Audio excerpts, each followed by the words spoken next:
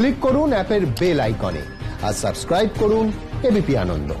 সব সময় থাকুন খবরে। নেতাজি নগরে দম্পতি খুনে গ্রেফতার করা হয়েছে একজনকে। জানব ব্যাপারে কথা বলে আমাদের প্রতিনিধি আবির দত্তের সঙ্গে টেলিফোনে। আবির কি জানতে পারছ?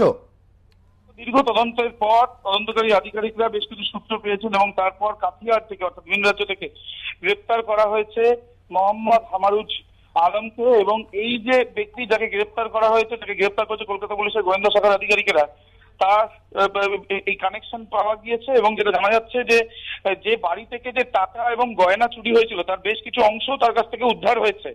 এবং এই ব্যক্তি আগে থেকে পরিচিত ছিল দিলীপ বাবুর অর্থাৎ দিলীপ মুখোপাধ্যায়ের এবং যেটা আমরা জানতে যে, এই যে বৃদ্ধকে খুন করার পেছনে যারা রয়েছে, তার মধ্যে এই ব্যক্তিও রয়েছে বলে তথ্য প্রমাণ রয়েছে পুলিশের কাছে। পুলিশ আধিকারিকরা যেটা জানাচ্ছেন যে, ঠিকাকর্মী রাজমিস্ত্রি হিসেবে কাজ করতো এই ব্যক্তি।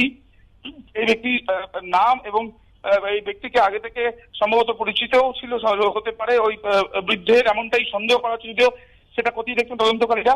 এবং তার মোবাইল টাওয়ার লোকেট করে তিনি ওর লোকেশন কোথায় সেটা দেখেই পুলিশের একটি দল কাথিয়ারে যায় এবং সেখান থেকে তাকে গ্রেপ্তার করে এবং তাকে গ্রেপ্তার করে ট্রানজিট রিমান্ডে তাকে নিয়ে আসা হবে কলকাতাতে। এবং তাকে যদি হেফাজতে পাওয়া যায়, তাহলে সেই ক্ষেত্রে এই ঘটনার মূল মাস্টার মাইন্ড কে? এই ঘটনায় কার প্ল্যানিং এর সমস্যাটা হলো এবং কতজন এখানে উপস্থিত ছিল এবং তারই বা ভূমিকা কি? এই খুন কি, এই হামারুজ আলম সেই কি করেছে নাকি তার সঙ্গে আরও কেউ সহযোগিতা করেছে? সমস্তটাই কিন্তু জানা যাবে বলে তদন্তকারীরা মনে করছেন এবং নেতাজিনগর খুনের ঘটনায় এই গ্রেপ্তারিকে বড়সড় সাফল্য হিসেবেই দেখছে লালবাজার। কারণ তুমি জানো যে বিগত কয়েকদিন ধরে কলকাতা পুলিশের ভূমিকা শাখার আধিকারিকেরা ঢাকাটি সেকশনের আধিকারিকেরা এবং নেতাজিনগর থানার পুলিশ তারা দীর্ঘ রকম আসছিল এবং সেইভাবে তদন্ত কীভাবে এগিয়ে নিয়ে যাবে, সেই নিয়ে একটা দ্বন্দ্ব চলে আসছিল। তার কারণ একাধিক অ্যাঙ্গেল আছে, কখনো উইল নিয়ে সমস্যা সামনে আসছে। উইলের কোনো সমস্যা হয়েছিল কিনা এটা সামনে আসছিল।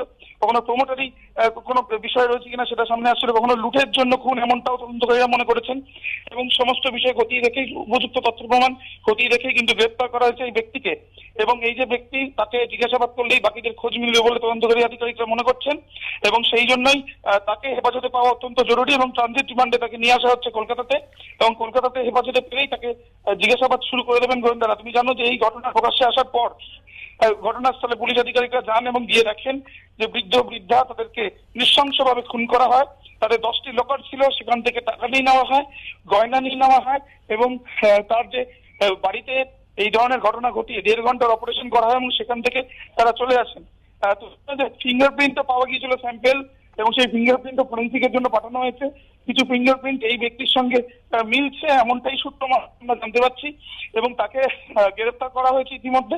তাকে নিয়ে আসা হচ্ছে। কত এর আগে সে কি রেকি করে এই ঘটনা ঘটিয়েছিল কিনা বা সে তার- এই আমরা ছাড়া আর অন্য কারা কারা রয়েছে?